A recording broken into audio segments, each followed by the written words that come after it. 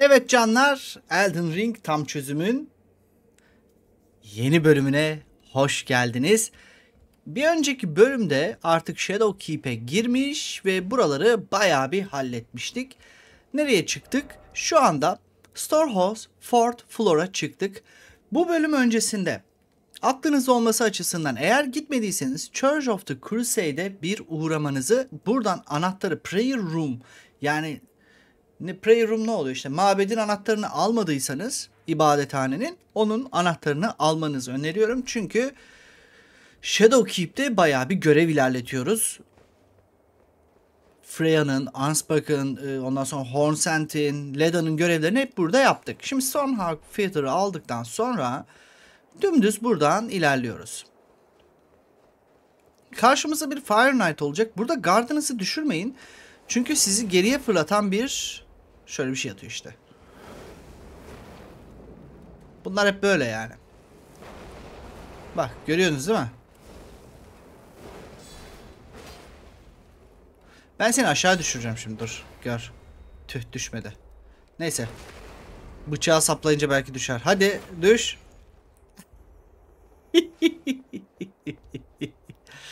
Videoyu beğenmeyi, yorumda bulunmayı unutmayın arkadaşlar. Bunu e, like'larınız ve yorumlarınız gerçekten çok önemli. Bunu asla unutmayın. Benim için önemli yani böyle şeyler. Niye? Kanal büyüyor. Şöyle yanımıza bir tane yıldırım aldık hatırlarsanız. Eğer almadıysanız hemen Memo e, Memorize bölümünden alabilirsiniz. Şeye oturduğunuzda. Böyle yarasalardır, uçan düşmanlardır. Bunlarla böyle deli gibi uğraşın istemiyorum. Şöyle kamerayı klas bir hareketle hızlıca çevirirseniz 3 düşmanı aynı anda alabilirsiniz.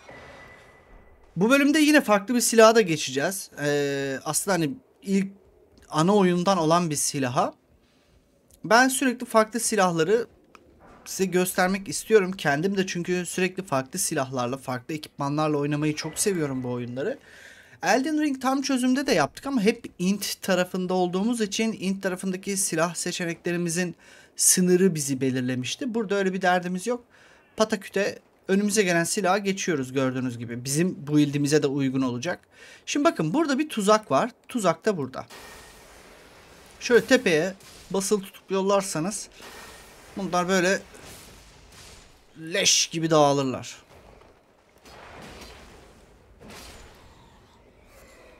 Red Flash Mushroom. Mesmer'in Ember'ını da aldık. Şimdi içeri girebiliriz. İçeri girdiğimizde ilk sağ tarafa gidiyoruz. Ay yerini şaşırdım düşman. Şu arkadan şey oluyor çünkü Ember.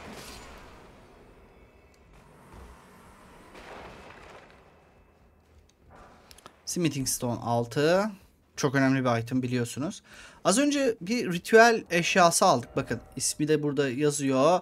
Secret Right Scroll. Bu Arnsbank'ın aradığı item ama Freya'nın görevini yapmak istiyorsanız Shadow Keep'te Freya'yı bulana kadar kesinlikle scroll'u Arnsbank'a vermemeniz gerekiyor. Arnsbank'a.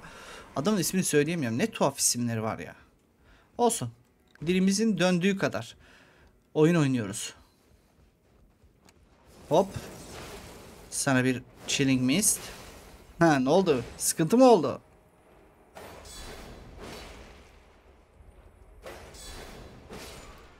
Thank you canım.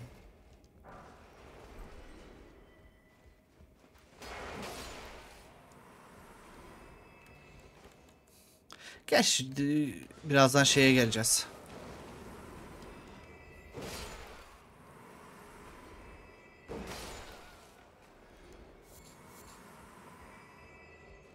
Boşu boşuna şey kullanmaya gerek yok. Buradan arkadaşlar dümdüz karşıya gideceğiz. Hemen burada 3 tane konuşlanmış düşmanı keseceğiz. Bir tanesi de bakın şunun arkasında bu zorlu bir Fire Knight. O yüzden hemen etrafındakileri temizliyoruz ki sıkıntı olmasın bize.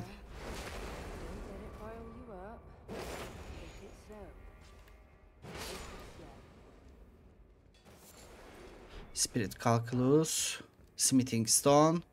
Şimdi diğeri bize doğru gelmeye çalışacak. Burada bir tane daha Fire Knight var çünkü. Bizi görüp gelecek o. Eğer fark etmezse size şöyle uzaktan yollayın. O, gele, o gelene kadar yemleyin.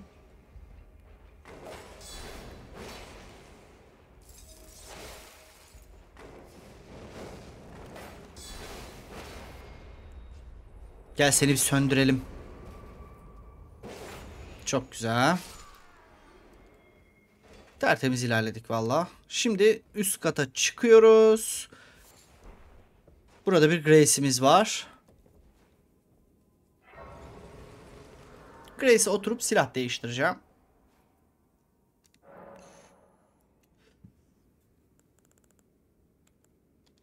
Ay yok gerek yok. Grace'e oturmama. Bunda ne koymuşum ben? Ghost Flame Call koymuşum. E, Frost build'da bu zaten varmış. Tamam Ghost Flame ile beraber acık takılalım. Gargoyle Halbert direkt heavy'e verirseniz bu arada S skalasından alıyor. Çok iyi bir Halbert. Ben şu an Cold'da tuttum. Çünkü intim de gayet yüksek zaten. upon my lack of foresight. I should have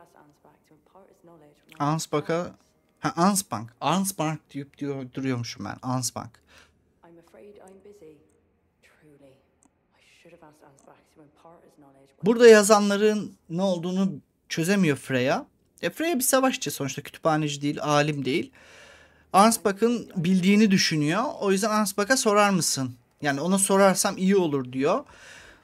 E biz de hemen zaten Ansbach'ı burada bulmuştuk. Hem de onun istediği item'ı da bulduk. Bu sayede çok rahat bilgi alabileceğiz. Şimdi Storehouse First Storehouse First Floor'a ışınlanıyoruz. Burası oyuna başladığım daha doğrusu e, Shadowkeep'te hipopotamı geçtikten sonra geldiğimiz yer. Bakın. Hatta buradan aşağı inip şey de yapmıştık. Ne yapmıştık lan? Heh, Fire Great Sword kasmıştık. Halberd'in tadına bak bakalım. Aa ne düşürdün sen? Kukri. Kukri kukri kukri kukri.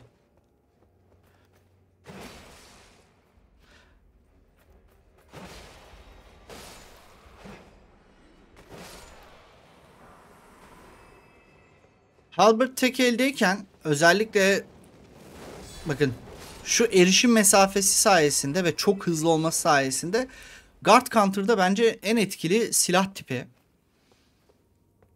Ama hani tek elle kullanırken çok da güzel bir silah değil. Ama işte şey de çok iyi ya. Çok tatmin edici bir Guard Counter olayı var. Yoksa iki elde muhteşem bir silah. Lord Morg'un kalıntılarına ne olmuş olabilir? Burada yazanlar falan sıkıntılı diyor. Ekstradan bilgiye ihtiyacı var. Biz ona Secret Right Scroll'u veriyoruz. Az önce aldığımız eşyayı. Aa bir dakika diyor. Burada olayı çözüyor Ansbach. Bunu bilmem gerekirdi. Dedi.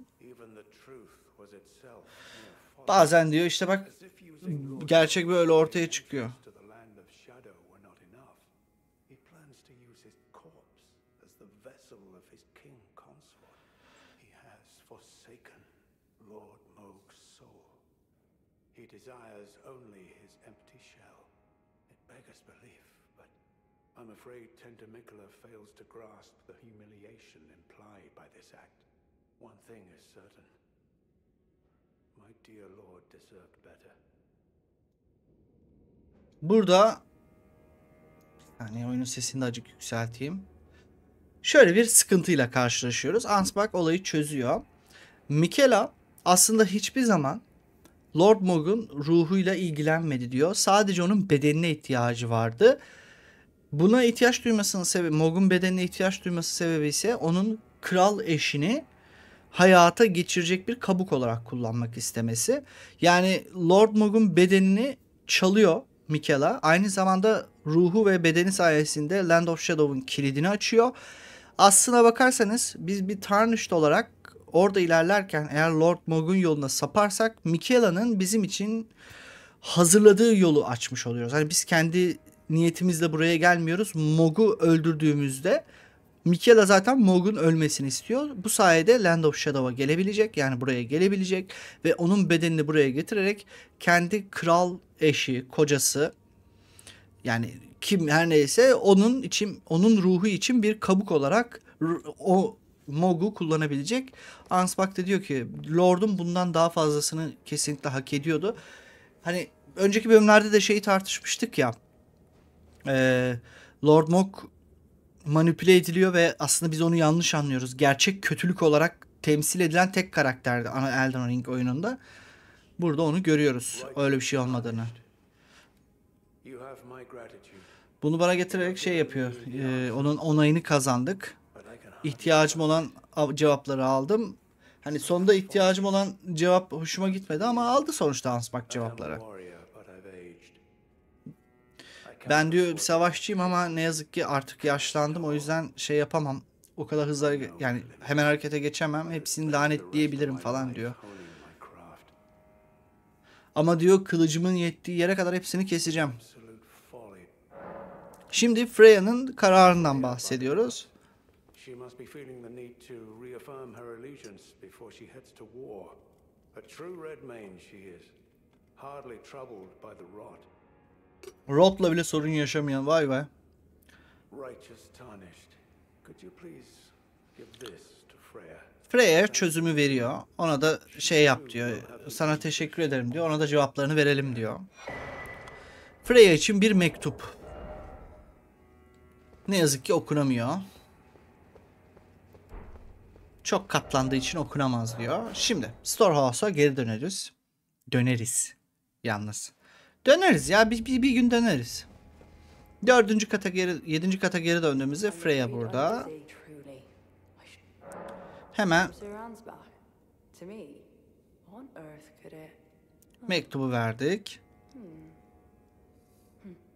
Yes, of course, I see. Bak bak. As the festival düzenlendiğinde General Rada'nın ruhu da işte o savaşta şehitti. which has Ama. Michaela diyor onu canlandırmak istiyordu. Hani Radan ölmeyi istiyor ya. Michaela da onun ölmesini istiyor ki yeniden canlandırabileyim. The great. Thank you. Now I give my regards to Honorable. Tell him, if we should meet, to face your bow would be fine enough. Bize çok çok teşekkürlerini sundu. Sonraki savaşlarımızda da bize yardım edebileceğini söyledi. Ansbach gitti bu arada. Freya burada kaldı. Freya'nın çözümüyle beraber burada bir kalkan eşyasını da alabildik. Şimdi arkadaşlar. Sonraki aşamada şu tarafa doğru gideceğiz.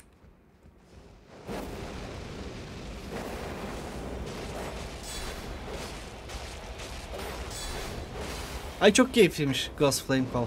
Değil mi? Normalde sadece bir tane silahta kullanabiliyorduk bunu.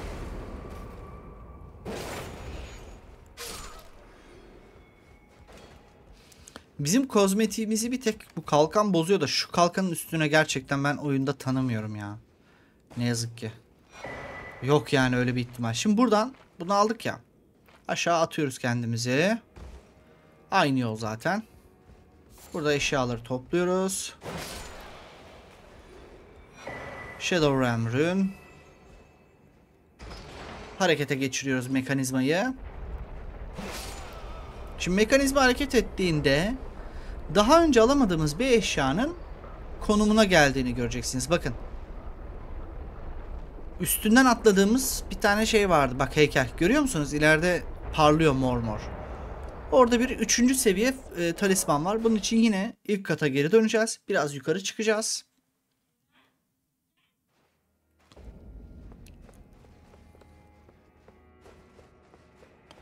Bu sefer pek düşmanla uğraşmayacağım. Çok güzel tasarlanmış burası ya.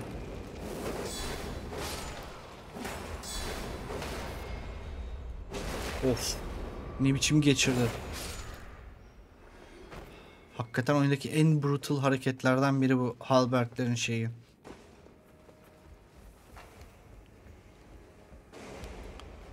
Burada bir tur daha çıkacağız. Hemen karşımızda bir tane Fire Knight şövalyesi olacak. Gel bakalım.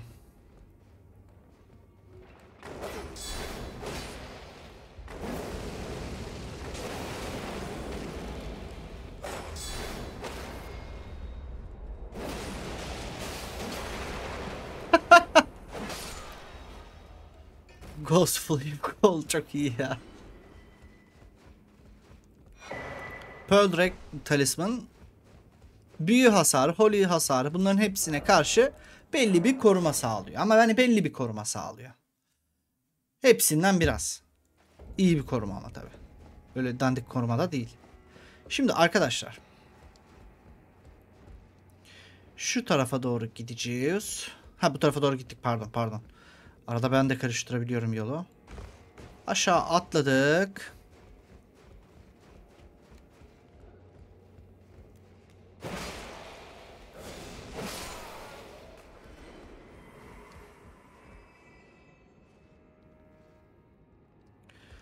Fazla atlamışım pardon. Bazen şaşırıyorum yolumu. Bak. Üç merdiven birden inmişim. Hay Allah'ım ya.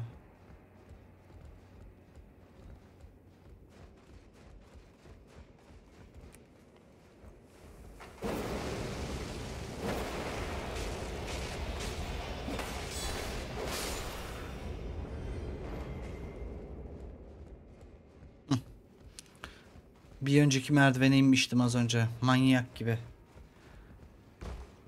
Şimdi aslında zindanı bitirebiliyoruz bu arada. Onu da söyleyeyim arkadaşlar. Artık hani çok e, zindanın belli bir bölümünü bitirdik. Ama bak mesela şu karşıdaki tarafa gitmedik.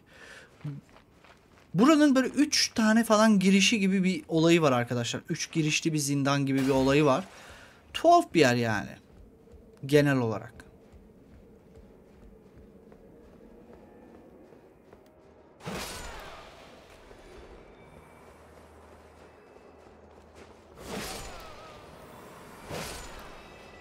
Şimdi karşıdaki düşman birazcık güçlü arkadaşlar. O yüzden hazırlıklı gitmenizi öneririm. Biraz dikkatli olmanızı öneririm. Ee, normal blokla bu işi tamamen halledemiyorsunuz. Çünkü eğer yakındayken kapma saldırısı yaparsa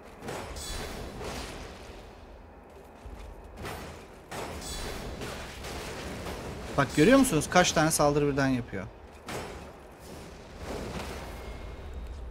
Ama biz de kaçın kurasıyız.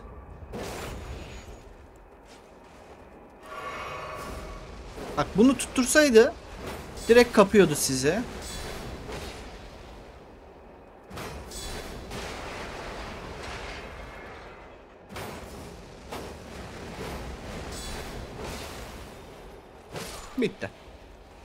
Zorlu ama alt edilmeyecek bir düşman değil. Winged Serpent Helm ve Flame Spear eşoförlerini verdi.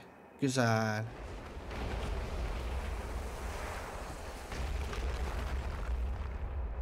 Şu arkaya da bakacağız bir. Buradan hemen fragmentımızı alalım.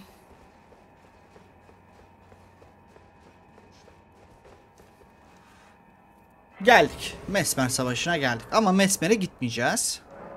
Çünkü kalede yapmamız gereken bazı önemli işler var. Bazı önemli görevler var. Bu görevleri tamamlayacağız.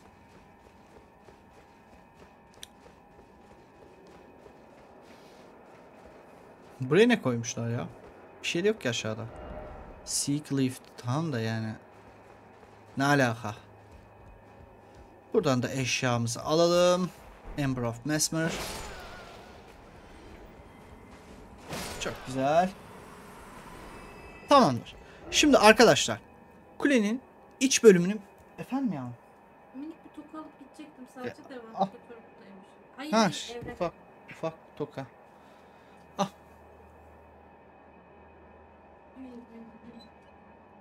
Şimdi kalenin şu iç tarafındaki ana bölgeyi bitirdik. Şimdi bir de burada sular altında kalan farklı bir yer var. Oraya da gitmemiz gerekiyor. Kalenin farklı bölümlerine, iki farklı bölümüne daha erişmemiz gerekiyor Shadow Keep'in. Oralara ulaşabilmek için de burayı tamamlamamız lazım.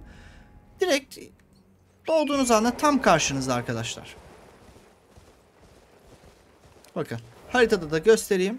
Tam şuraya gideceksiniz. İlk buraya da gidebilirsiniz. İlla benim rotamı izlemek zorunda değilsiniz. Haberiniz olsun.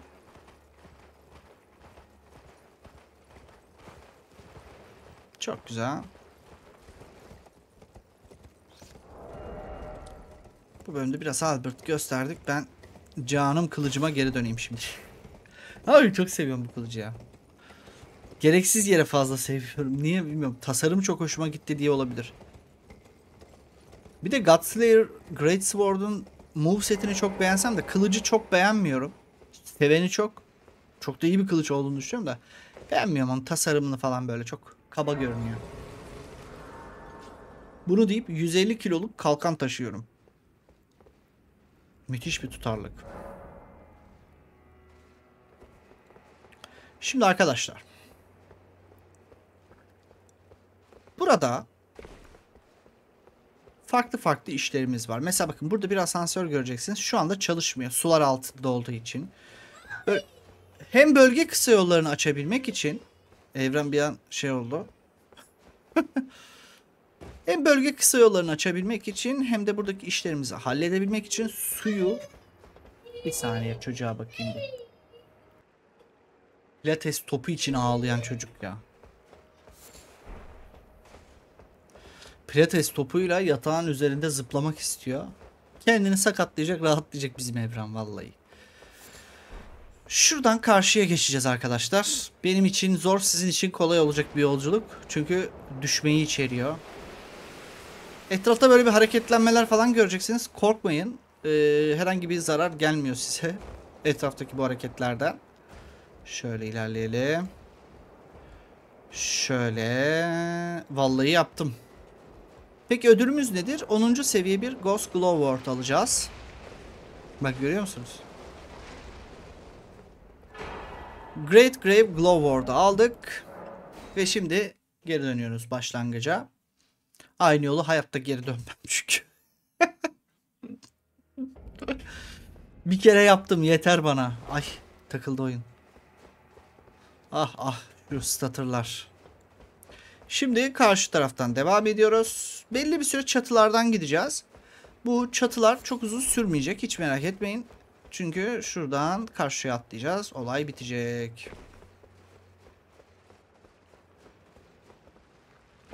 Şimdi burada eşyayı aldıktan sonra isterseniz bu manyakları indirebilir ya da kaçabilirsiniz. Bunlar patlıyorlar ve kendilerini öldürüyorlar. Aynı zamanda sizi de kendileriyle götürmek istiyorlar. Karar size kalmış. Burada zıplıyorsunuz. Aman dikkat. Düşmeyin. Evet bir Fire Knight'ımız daha var. Gel bakalım Fire Knight. Özellikle şeyler Dagger'la takılanlar çok daha kolay diğerlerine göre.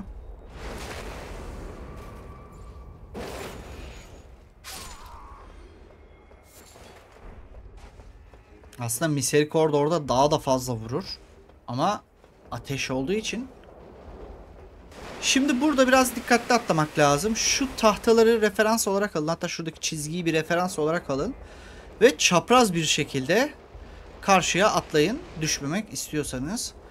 Gerçekten kendimi aşmış durumdayım şu an. Hemen kendime geri gelmem lazım. Yok. Vallahi düşmedim. Geçen bir rehber çektiydik. Bu gece armor'ı falan filan. 7 kere mi 4 kere mi ne düştüm burada. Şimdi karşıya geçtik. Buradan aşağı atlıyoruz. En rahat atlanacak yer burası. So Ay takılma oyun. Cık, Hay Allah. Halt ettik PC'de tam çözüm çekerek yemin ediyorum. Stormhawk Feather. Onu da aldık. Şimdi şu aralıktan aşağı atlayın. Buradaki kapıyı açın. Şimdi arkadaşlar eğer eğer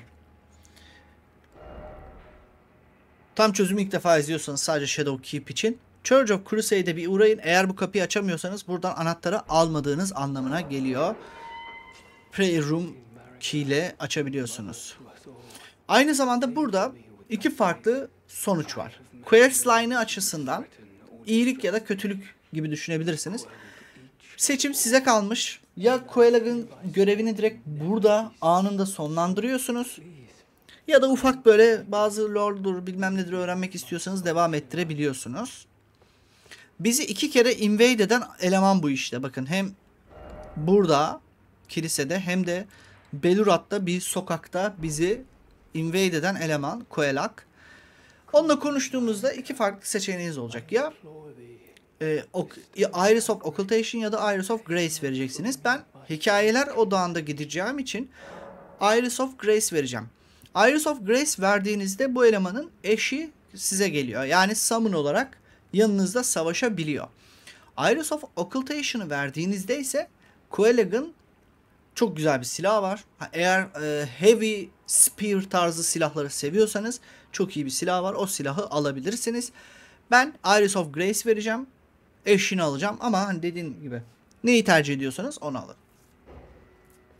Ne yazık ki tek bir runda her şeyi toplama ihtimaliniz e, Elden Ring'in orijinal oyunun aksine burada yok. Elden Ring'de çok nadir bu tarz seçimler var. Mesela Millicent'in Quest'inde falan var. Eğer Occultation'ı verseydim direkt ölüyordu.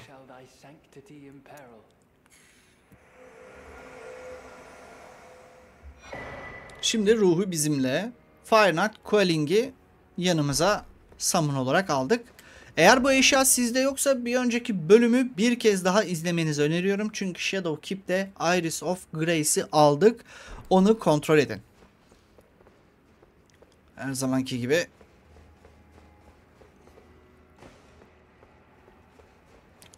Şimdi canlar. Lightning Proof Picket Lever'ı aldık. Şuradan eşyamızı alalım.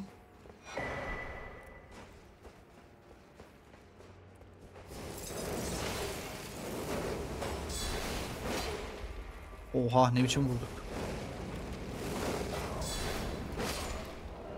Maşallah hocam. Şunu da değiştirelim mi ya? Ne yapabilirim? Başka bir şey koyabilirim mesela. Yine kritik sonrası hasar da verebilir. Böyle keyfi bir şeyler yapayım istiyorum bunda. Ha bak staminamız daha çok dayansın. Ne olacak ki? Şimdi burada karşıya gitmeyin ilk başta. Oraya gideceğiz zaten. Bir tane daha Skadu Tree Fragment alacağız aslında ama hani hemen acelesi yok. Zaten şu an bir tane seviye atlatabiliyoruz. Burada tatlı tatlı yarasalarımız var. Şimdi bir menzilli büyüye veya silaha geçin arkadaşlar. Bir de ben burada ilk oynadığımda pat diye düşmüştüm. Zıplamayı unutmayın. Sıptırın yıldırımı. Bir tane de tepede var. Hazırlayın. O size doğru gelirken atamayın. Çünkü bu da kapma hareketi yapıyor. Kapma hareketi de vallahi iyi hasar veriyor. Tepeye çıkalım.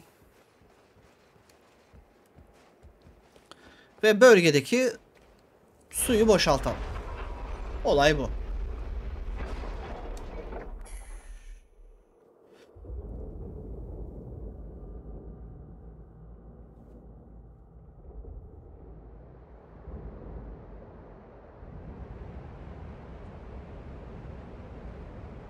Şimdi aşağıda bazı düşmanlar var. Bu düşmanların bazıları çok tehlikeli.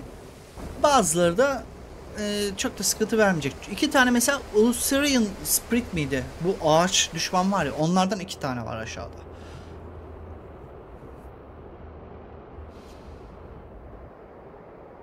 Şimdi tapınakların olduğu bölgenin suyunu boşalttık. Aşağıyı da keşfedebileceğiz. Aklınıza Dark Souls 1 geldiğini biliyorum bu arada. Ben de çok benzettim çünkü.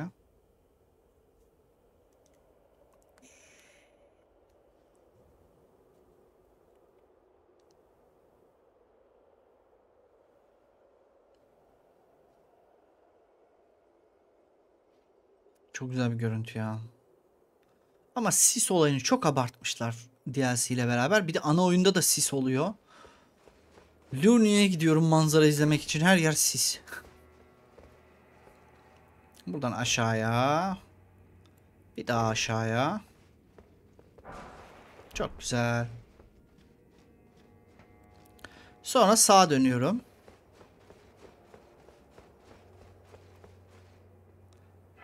Buradaki Grace'i aktif hale getiriyoruz. Çok güzel. Bir oturalım. Heh, blessing'i verecektik. Skadu Tree Fragment'ların şu anda kaçıncı seviyesine çıktık? 12. 12 şey için gayet yeterli bu arada. Etrafta dolaşıp daha fazla farm yapmak istemiyorsanız e, Mesmer için falan gayet yeterli. Özellikle bu build için konuşacak olursak gayet yeterli.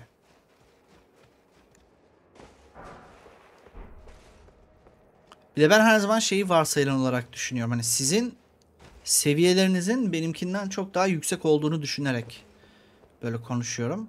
Burası geldiğimiz yer zaten. Şuradan hafifçe ileri. Bakın. Birazdan eleman çıkacak ortaya. Siz hazırlığınızı önceden yapın. Kullanacağınız, kullanacağınız bir şey varsa onları halledin. O gelecek şimdi. Burada burada mimik çağıramıyorduk galiba. Çok da gerek yok bence de. Çağırabiliyor musunuz? Yok çağıramıyorsunuz bakın.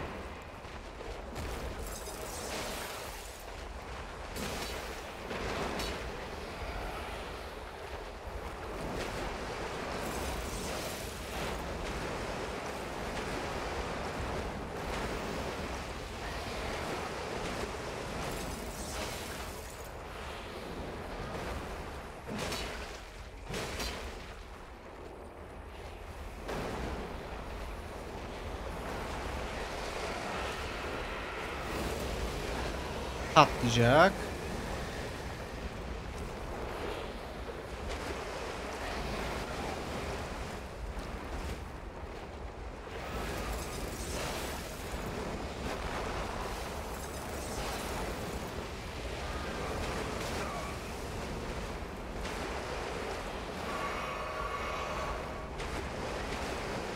Ben nedense bu Ulcerian splitlerde gayet rahat ediyorum ya.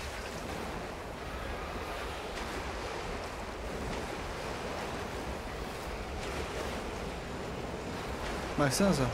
Hiç hedeflemeden sadece bazen önde kalınca sorun oluyor.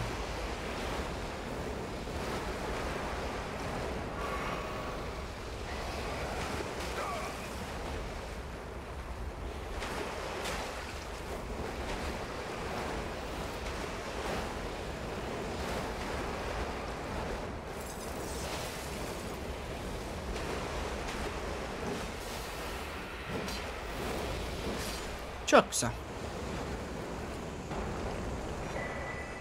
Mantle of Thorns. Yine Arcane Scale'lı bir büyü. Şimdi arkadaşlar ne yaptık bu bölüm? İç kaleyi bitirdik. Ardından yan sokağa geçtik. Yan taraftaki e, bu tapınakların olduğu bölgede bir görevi daha yaptık. Ansbach, Freya, Leda, Hornset ve Quelag'ın Queling'in daha doğrusu Quelag başka bir şey. Queling'in görevlerini ilerlettik veya tamamladık. Bir sonraki bölümde bu bölgeyi keşfetmeye devam edeceğiz. Sonrasında da Mesmer'le olan boss dövüşüne geçeceğiz. Videoları likelamayı unutmayın. Hadi sonraki bölüme.